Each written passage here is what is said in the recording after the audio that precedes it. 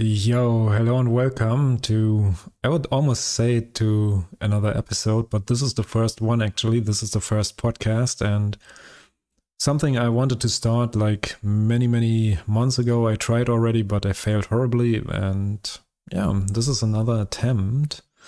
And let's see how it goes, I guess. So in today's episode, the topics are PUBG Global Partners, PUBG Tournament Schedule, massive layoffs after Microsoft Activision Blizzard merger, and from number one in esports to number one in event management. Also talking about Activision Blizzard here. So let's roll the intro and see you guys in a minute.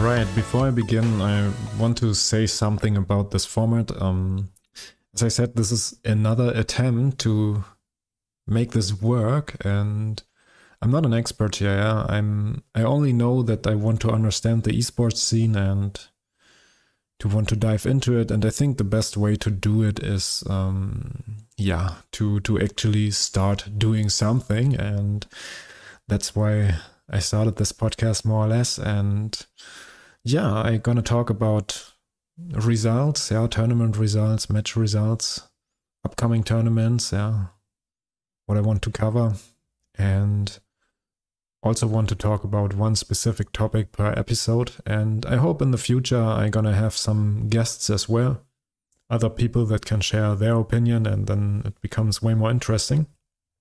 Instead of me just, uh, yeah, thinking about stuff and expressing what what kind of opinion I have. Right now I don't have an opinion. I don't have the expertise yet, but it will come over time. So I hope you guys are patient with me and yeah. Let's dive into this thing. So PUBG global partners, yeah, you think um yeah, or some some people no, how do you how do you explain this? So what is PUBG global partners here, yeah? Um, these are basically the teams that don't have to qualify for the big tournaments. Yeah? So they are basically qualified already. They still play all the tournaments, but um, in case they are in, in a position where they would qualify, um, yeah, their spot um, doesn't steal away a qualification, and the next team will basically get it. I hope this makes sense. Um, I think there were eight teams last year, and this year um, there are 10 teams now. The 10 global partners are 17 Gaming, FaZe Clan, 4AM, Gen.G, Navi, Petrichor Road, Soniqs, Twisted Minds, Cerberus, and Day Trade Gaming. And when this got announced, I saw a lot of people complaining and making fun of some of the teams. Um, but I can't agree. Yeah, I, I was curious how this um, how the selection uh, was made, you know. And when I went to the PUBG website, PUBG Esports website, um, they explained it. Twenty percent governance. Yeah, that means how well is the organization? Yeah, how how well uh, is the organization organization structured? Yeah, how well is it run and how stable it is, basically. Yeah. So can you trust these guys, basically? Yeah, can you trust them? And I think this is an important factor because um, yeah, when we look later on the tournament schedule, this year is packed with so many tournaments, more than last year, more than the years before, and it is stressful to participate in all of these tournaments, the qualifiers, the tournaments themselves, to get on a plane to move into a certain country, you know, fly there and stay there, hotel and everything, and participate in a tournament. It's not cheap. It's not uh, easy, and to do it over the entire year, you must have some track record as a as a as an organization, yeah, that you are capable of doing this. And that's why it's not all about how well the teams played. From a fan perspective, I can see it. You know, you always ro- root for the for the best team, and and for the yeah, what is what is the favorite of the month, basically, yeah. But um, from a from a tour- tournament organization point of view, yeah, you want stability, you want something predictable, basically, yeah and I think this is this makes sense. So the the other twenty percent are history. Yeah, how well were the teams before? You know, how well did they perform? Are they are they are they a part of PUBG esports for quite some time? Yeah, Gen.G comes to mind. Viewers back there. So even if they didn't perform that well in the last tournaments and before, um, I can see them rising again. Same goes for other teams. And then it's 60% fandom, yeah. And I'm wondering how they how they how they track all of that, yeah, if they made a list and but uh it doesn't matter. I have nothing I have nothing to complain about these teams and if you are not if you are on the outside, yeah, even as a fan, as a team, it doesn't really matter. This this would make me more hungry, you know, like all right, all these teams are qualified already. We are not we didn't make the cut. So now now we we have to show you know we have to show that we that we belong there you know. So i would take this as fuel as as motivation you know instead of complaining or making fun of other teams especially as a fan but also as a as a team you know. Like there's no reason to be cynical or whatever. And I mean, 10 global partners is huge, so there are only 14 slots left for the qualifiers. There are only 24 teams qualify. And then they do that format I believe they did before, like that they have like three brackets, yeah. And like eight eight teams per bracket, and then you have like A versus B, A versus C, B versus C, and so on. then winners bracket, losers bracket, and so on, and yeah, then the final. I think the format is pretty good and it makes a lot of sense. So let's take a look on the tournament schedule for 2024. Yeah, I think um, what stands out are the two big tournaments. Yeah, in September the PNC, um, the PUBG Nations Cup, yeah, where you don't have organizations, where basically all the players join their country basically and represent that. Then you have in December the PGC, uh, the PUBG Global Championship, I believe. Yeah, in December 2024. This is the end of the year. Yeah, this is basically the biggest tournament, and here we have also the big prize money again, uh, where the pool is boosted by all the skin sales and all that stuff. Yeah, it will be it will be insane. It will be massive.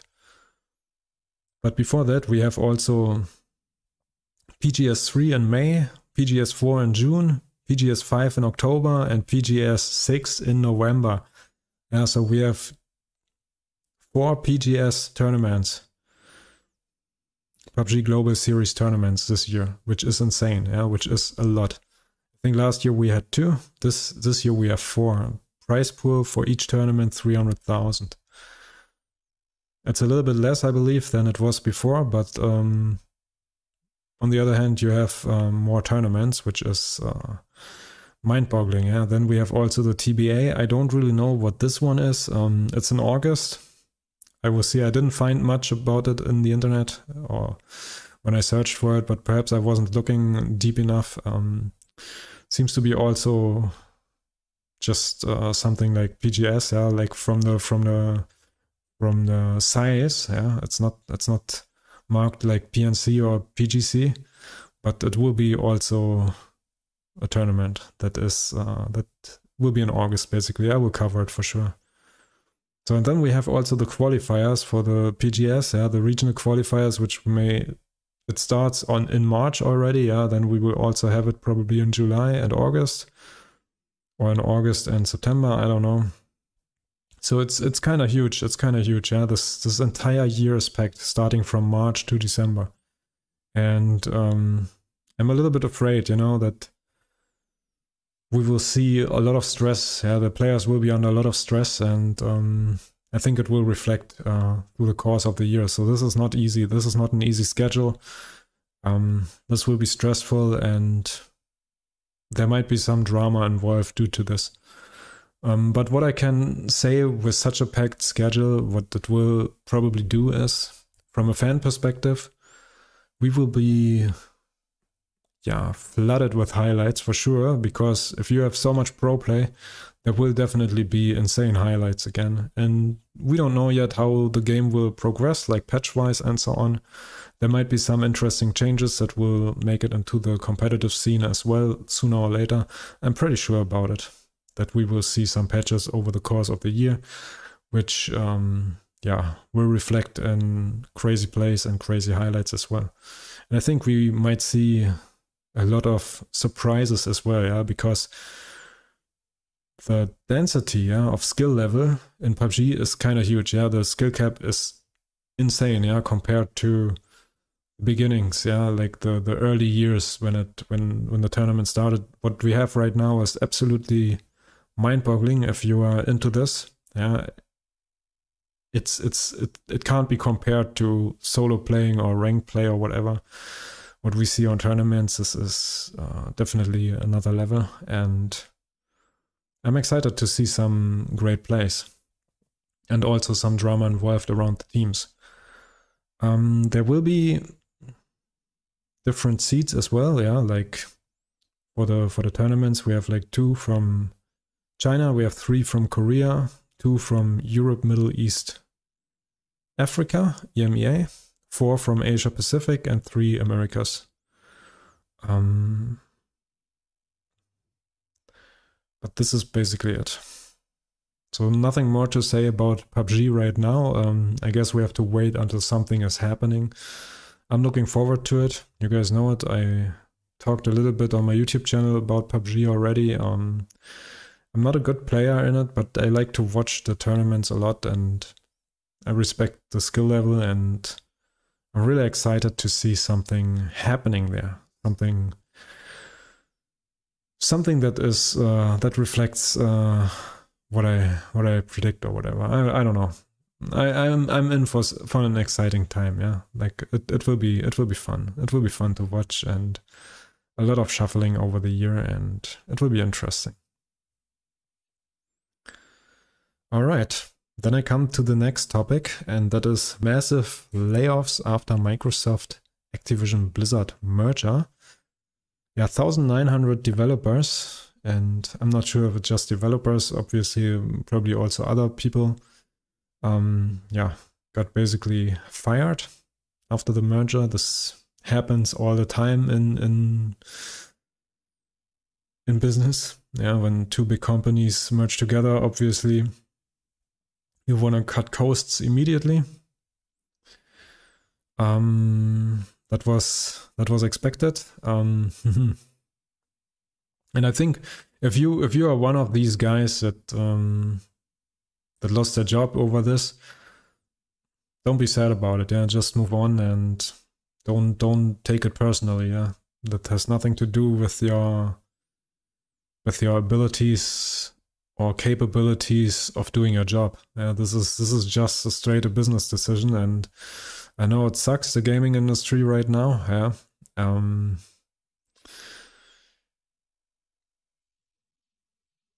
games are not produced in a way um,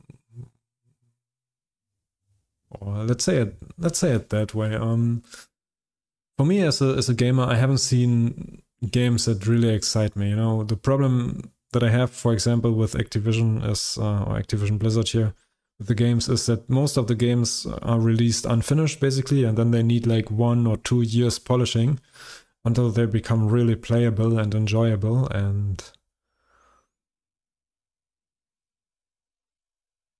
we don't see a finished game released anymore yeah? and it is all about um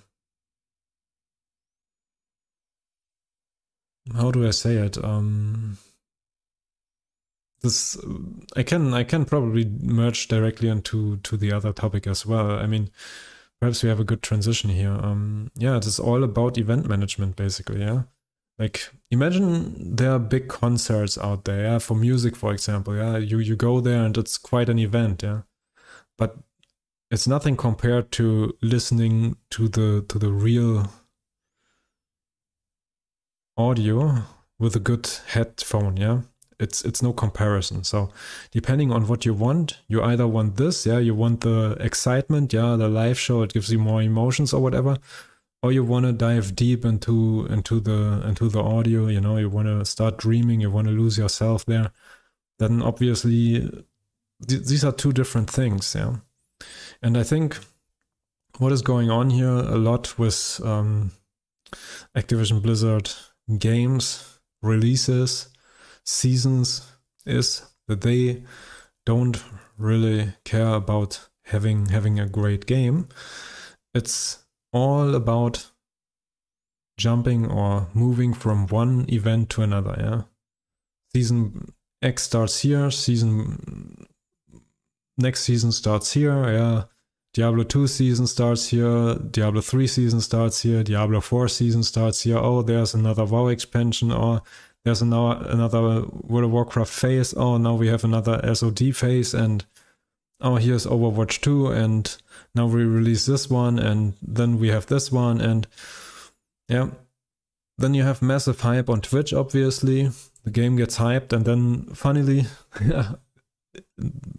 big surprise, after like three months, nobody plays it anymore. And it needs massive patching because, as I said, the games are uh, released unfinished.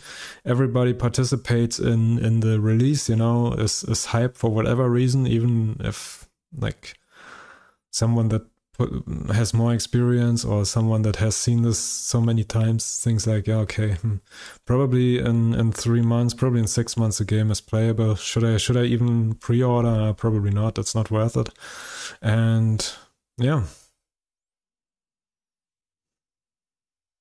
It's it's kind of it's kind of i don't want to say sad to see. I can understand why it's happening obviously yeah I mean, you wanna you wanna make your shareholders happy, and having these massive events is also a big um, sales argument, you know. Because if a lot of people want to participate in it, yeah, then obviously a lot of people buy the game, but the problem that it still exists is if you do it too many times and you don't deliver on the product, then people realize that they only buy a small kick, you know, like for like two weeks or whatever.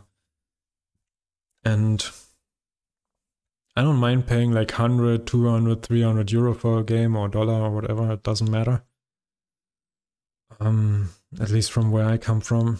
And that doesn't mean I'm I'm rich or whatever. I just it's just a priority thing. Um, yeah, that people buy expensive cameras, uh, something I want to do too. Or travel the world, something I want to do too. Or buy expensive cars, something I want to do too. But here in this case, yeah, I mean, I don't care about the money. The problem is, what do you get out of it? And there are a lot of free games out there that provide more enjoyable and high quality playtime than all these yeah events basically all these releases yeah so um i can see i played diablo 4 recently and like this is probably the first season season 3 and I can't complain like the other people complain. because for me, for the first time, I think, oh, okay, this goes quite smooth. I understand the game and it's not that bad.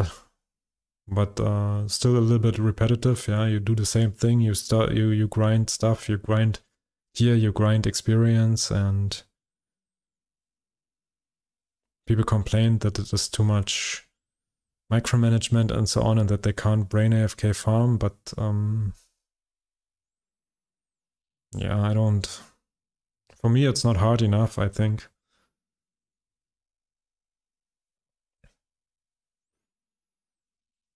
Like a game has to be a challenge. But yeah, that is something else. So I said from number one in esports to number one in event management. Definitely number one in event management now. Esports long time ago abandoned. Yeah, we had StarCraft, we had Warcraft, but they were they were basically the top of the world, yeah, in like the early 2000s, yeah, and even late 2000s. And right now, um, yeah, completely abandoned, more or less. Um, World of Warcraft esports, I don't know, was never really accessible. Yeah, only a small number of teams that participate in there. Um, very exclusive club, hard to get in there not really predictable. Then you have obviously Race to World First, which is also, um, yeah, almost impossible to get into, like from scratch. Almost impossible. Um, what else do we have? Hearthstone. Hearthstone, I think, might be probably the only game that is. That, I don't know if there's still esports around it, but that might be the only game that is an environment that started out in that and is still in there. You know, like in that in that in that in that bubble let's say it that way excuse me then we had um, heroes of the storm completely abandoned and the way how it got abandoned um, yeah. Not very not very polite let's say it that way. Um, that was a big punch to the face to everybody who was involved there casters players teams um, fans as well um, yeah and i think it wouldn't it, there was not much uh, missing you know like um, they had like 20,000 views on twitch during tournaments and it was a pretty young game you know and I mean, what were you thinking that you that you compete with League of Legends or Dota that had like almost ten years under their belt? It takes some some time, yeah, to to develop a game and to polish it in a way that is fun to play and that it offers on a competitive side um, a lot of excitement. Yeah, it's it's not easy to figure out, and you need a lot of sample sizes to to understand your game, your your community, your your fan base your your pro players and so on. Yeah what what is i mean that is a science in itself to figure out that stuff especially from a developer point of view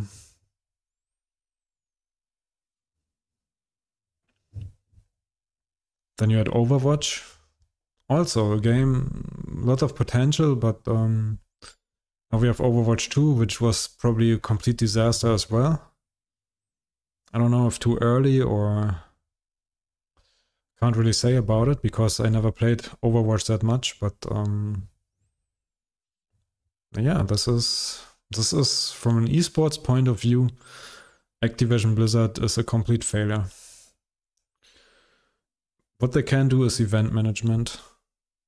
This they do pretty well, I believe, but um, is this what we need?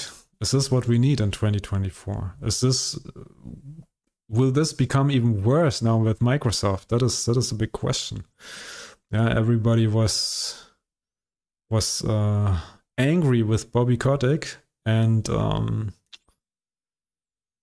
I was thinking. I mean, I was thinking, yeah, what what what what comes next? You know, like people people like thought it's it's automatically that the next person or the next team that fills the shoes or the yeah will be better or whatever yeah like or better for for developers or better for for the players and you see what what you get. Yeah, we are we are basically on stock market in a bull run right now. Yeah, we will probably see rises to new all-time highs soon, and that is the latest where the companies are gonna cut costs. You know, like massively. I'm not sure. Um, I, I'm not naive. I'm not naive. I, I already predicted this more or less that it won't become better. And yeah, now you see what what is happening. And yeah, once once um, they come up with new ideas, new games, and they see some something is sticking, you know, we are close uh, to finish development and so on. You know, big releases are ahead of us. Then they will hire new people again and everything, you know. But uh, right now, um, yeah, thousand nine hundred people lost their job, jobs. Nineteen hundred. That is that is a huge number. And as I said, the gaming industry right now is is not as uh, sunshine as it was probably, uh, and we don't see much innovation. But I don't lose hope. I think innovation is about to come, and I think, um, yeah, the way how it is handled now with all the event management, it won't it won't hold on for so much longer. It only this is only for a certain niche, but I think um, we will see way way higher quality games in the future. I'm not sure if AI will help with that, but um, it might, it could. In certain ways, not just for competitive, but also for other games. You know, like gaming is a is a wide is a wide industry, and it might be it might be it might be helpful.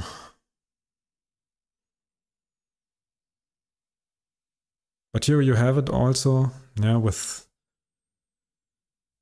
with a with a duality, you know, you always have like know you see this a lot, you know, that there are like two two things made up like League or Dota, you know, for example, or Burger King or McDonald's and all that stuff, you know. Or if Coca-Cola or Pepsi, you know, you have so much so much duality there. But um, this is just distraction, you know, and in, the game develop like for Activision Blizzard, it's like um, like three three um how do you say like three camps basically yeah one other shareholders you know like that want to squeeze out more and more money. Then you have the developers who try to please the shareholders and so on, you know, or the leadership team. Then then you have the players on the other hand, you know, and the the the devs they want also create something good, a good experience for the players. And the players want to have the best experience anyways, you know, and they are crying all the time, you know. But here you have three different camps basically, and they all want something else, you know. And the devs are basically in between, you know, and they are the weakest link here. They are they are supposed to be the strongest. They are doing all the hard work, but you see it also in in in like NBA teams or whatever, you know, or football teams or doesn't matter. The coach is usually the first who goes, you know, and the developers here are basically more or less like the coach, you know. And this is this is the harsh reality basically, yeah. So yeah. And this says also a lot about culture. Yeah, there was I think there was a time when when the culture was uh like very very dev friendly, yeah. But this must have been like 20 years ago. I don't know when it happened, when it shifted, but um perhaps this was Perhaps it was always a tough business. I don't know. Perhaps back then it was just on a smaller scale and the stakes were not that high. And now it's all about big money, you know, and every decision um, impacts like the income of like millions, if not billions of dollars, and that's probably too much. But then in the end, the only thing you need to do is create a good product. And I've said it already. The good product is there, yeah, but it only happens after nobody plays the game anymore. Diablo 3 right now is a good game. Even if people laugh about that statement, it was a good game. But it took like forever to to get there. Yeah, before the expansion came out, before Reaper of Souls came out, it was it was trash. Is it is it great now? Like the greatest of greatest? No, but it's definitely better than before. Like it increased a lot. And I expect the same with Diablo 4. That it will keep improving and probably in I don't know 12 months from now it will be it will definitely be my go-to action RPG. It probably is already, but um, I just started out in season 3, so I can't really say. But will this event management ever change? I don't know. I don't think so. I mean, that's a strategy, you know, to to just go from one season to another season to another season to another season and so on. But um yeah, the game has to improve. Like every game, like it's the same with World of Warcraft. There's the same strategy, yeah. We go from one expansion to the next expansion to the next expansion, and between expansions we have phases and so on, you know. So it's basically every time, yeah. You have to develop something on top of the other every time, yeah, every few months.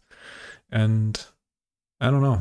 There are other games out there that that function in their environment, you know, that that that function in their in their space, you know. They don't need new content. They're just they just work, you know, and it would it would be so much easier and also so much more productive to improve the game instead of forcing your developers to create something new out of nothing. You have to create new content every three months. And this makes also, I mean, this is also stressful. I can see this. This is very stressful. And I think this is also wasted resources in a big way. It is also wasted resources in a big way. Because you play the content and then for the next release you create new content and the old content isn't played anymore. So it was it was there it was a good time but nobody cares anymore. We move on. And this is bad game design in my opinion. If all the resources that were used to create new seasons, new expansions, new phases, new whatever, to just improve the game as it is.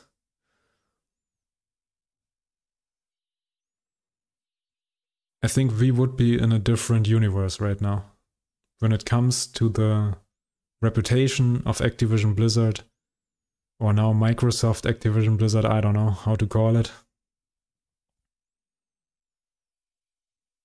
As a game publisher.